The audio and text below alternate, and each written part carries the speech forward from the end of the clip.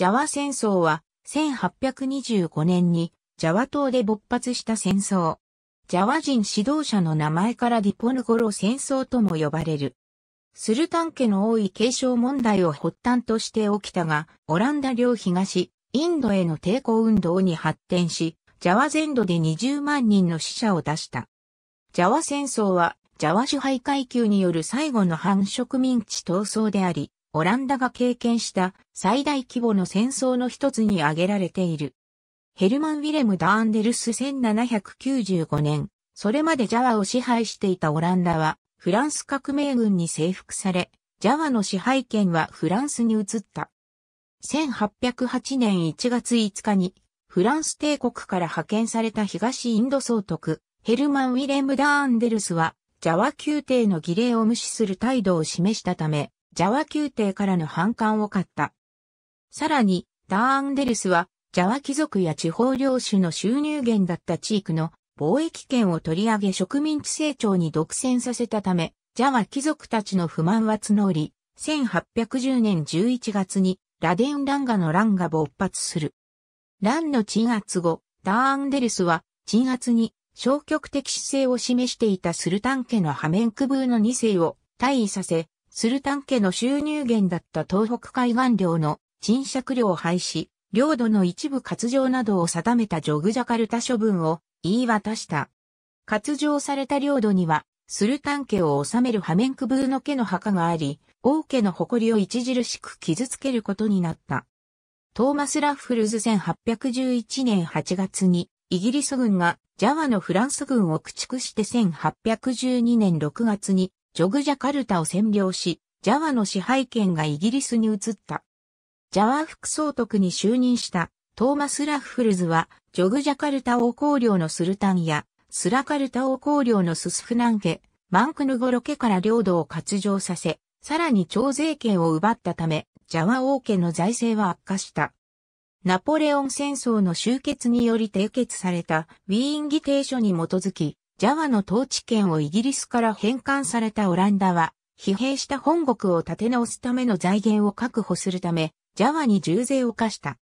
1818年10月4日、オランダ植民地成長のジョグジャカルタ駐在官、ナフスファンビュルフストは、ジャワの王族、貴族たちの領土を農園として、ヨーロッパ人や華僑に貸し与えることを認めさせ、大規模なプランテーションを展開した。しかし、1823年5月6日にビュルフスとの対立派閥に属する総督ゴデルトファン、デルカペレンは、ジャワの王族、貴族たちが領土を貸し与えることを禁止したため、賃貸料を返還する必要に迫られた王族、貴族たちの財政は悪化し、オランダへの不満は高まった。プラナカンの家庭ヨーロッパ人支配者の介入によって財政難に陥ったジャワの王族、貴族たちは植民地成長の下で勢力を伸ばしていた家境の商人たちに経済的に依存するようになった。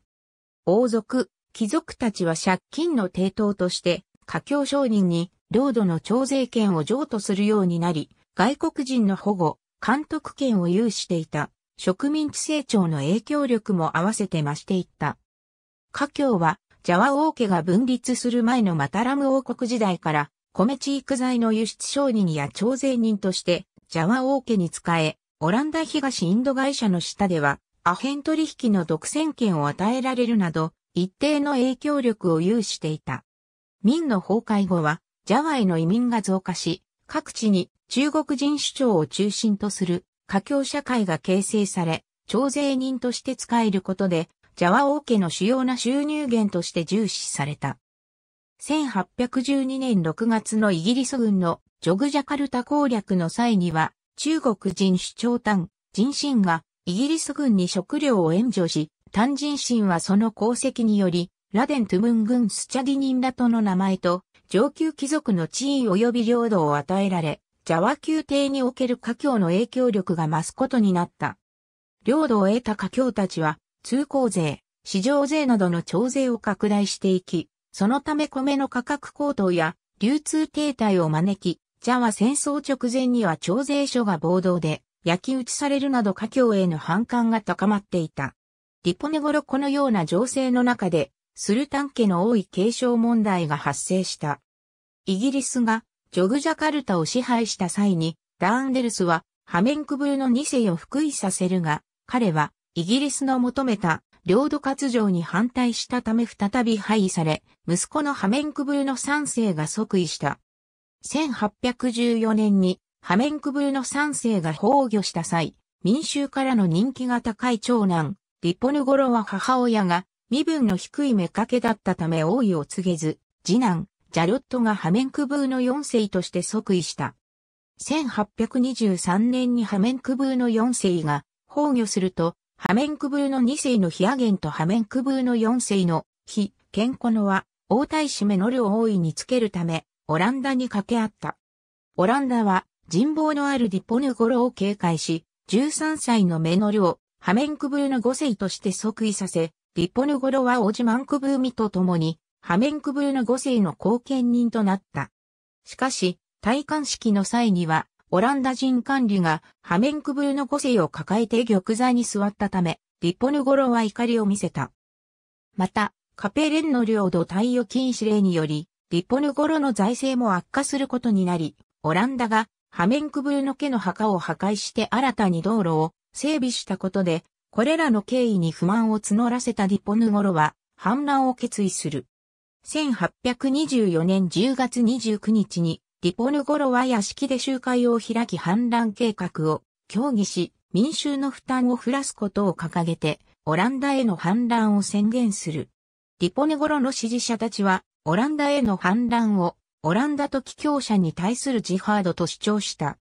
ジャワ戦争を描いた絵画1825年中旬、リポネゴロは、王とジョグジャカルタ周辺の町を攻略することを計画した。計画にはオジマンクブーミやスラカルタのイスラム指導者、キアイマジャも加わった。反乱の動きを察知したオランダは7月20日に部隊を派遣してリポヌゴロとマンクブーミを捕らえようとリポヌゴロの屋敷を襲撃するが、リポヌゴロたちは真一発で脱出に成功した。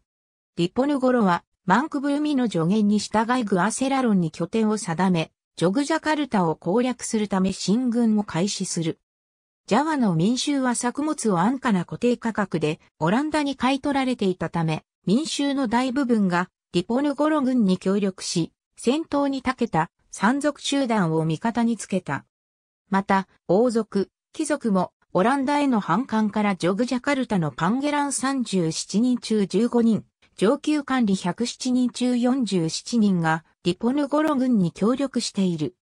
リポヌゴロは華僑との連携に反対していたが、東北海岸領の一部の中国人イスラム教徒からは支援を受けている。ヘンドリック・メルクでコック・ディポヌゴロ軍はオランダ軍からジョグジャカルタを奪い、ジャワ中央部を支配下に置いた。オランダ軍はナポレオン戦争で活躍した不評、騎兵、砲兵などの近代式軍隊を動員し、数十の町や村で戦闘が行われた。日中の戦闘はオランダ軍が優勢に立つが、リポヌゴロ軍に野襲を仕掛けられて占領地を奪還され、一進一退を繰り返した。リポネゴロ軍は武器庫や食料庫を森の中に隠し、戦闘を続ける中で火薬、銃弾の製造を行った。さらに地形を綿密に調査し、オランダ軍よりも優位に立った。数ヶ月間にわたり、武器が到来すると、リポヌゴロ軍は攻勢を強め、一方のオランダ軍はマラリアや赤痢に苦しめられ士気が低下し、停戦を申し出た。停戦が実現すると、オランダ軍は集落にスパイを放ち分断を図り、同時にリポヌゴロ軍兵士の家族を襲撃しようとした。しかし、徴兵したジャワ人兵士が尻込みしたため、襲撃は思うような成果を上げられなかった。オランダ軍は1826年に東インド副総督に就任したヘンドリック・メルクでコックの指揮下で体制を立て直し、1827年には要塞の建設と本国スラウェシ島から兵力を増強することでリポヌゴロ軍に反撃した。ジョグジャカルタを追われたリポヌゴロ軍はゲリラ戦を展開して対抗するが、戦争の長期化により兵力を維持できなくなり劣勢に立たされた。1829年に精神的指導者のキアイマジャがオランダ軍に捕獲され、マンクブユミと指揮官、アリバシャ戦トットも降伏した。1830年3月28日に、リポヌゴロとデコックはマゲランで停戦交渉を行うが、リポヌゴロはオランダ軍の待ち伏せに相捕獲された。捕獲されたディポヌゴロは、マナド、ついでマカッサルに追放され、1855年に同地のロッテルダム要塞で死去した。ジャワ戦争後の王光領ジャワ戦争で、オランダ軍は甚大な被害を受けたが、戦争でジャワの不平派を一掃したオランダは、スルタン家の領土を大幅に割譲させ、王光領内にオランダ人管理を長官とする裁判所を設立して、司法権の優位性を獲得し、スルタン家の影響力を排除した。さらに、中国人が大規模な土地を所有することを禁止し、華僑の影響力も排除した。これによりスルタンや華僑の勢力は衰退し、特にジャワ戦争でリポヌゴロ軍の標的として攻撃された中国人社会は人的被害に加えて経済的な損害も受けたため、出世頭だった単人心は中国人社会の恨みを解孤立し、ジャワ戦争終結の翌年1831年に死去した。また、東インド総督、ヨハネス・ファンデン・ボッシュが導入した強制栽培制度により、農民は作物の20%を税として納めるか、または1年のうち60日間は強制労働に従事することを強制された。これによりオランダは莫大な利益を得て財政を立て直し、オランダ領東インドは重要な利益供給源となった。反乱の鎮圧後、オランダ軍は休戦状態だったパドリ戦争を再開し、ジャワの兵力を西ジャワ州、ミナンカバウに動員し、兵力で劣るパドリ派の砦を攻略した。1837年にはパドリ派指導者、トゥアンクイマーム・ボンジョールを捕獲し、翌1838年にミナンカバウ全土を平定した。ジャワ戦争とパドリ戦争を最後に、オランダ領東、インドでは大規模な反乱は起こらず、1945年のインドネシア独立宣言までオランダの植民地支配を受けることになった。ありがとうございます。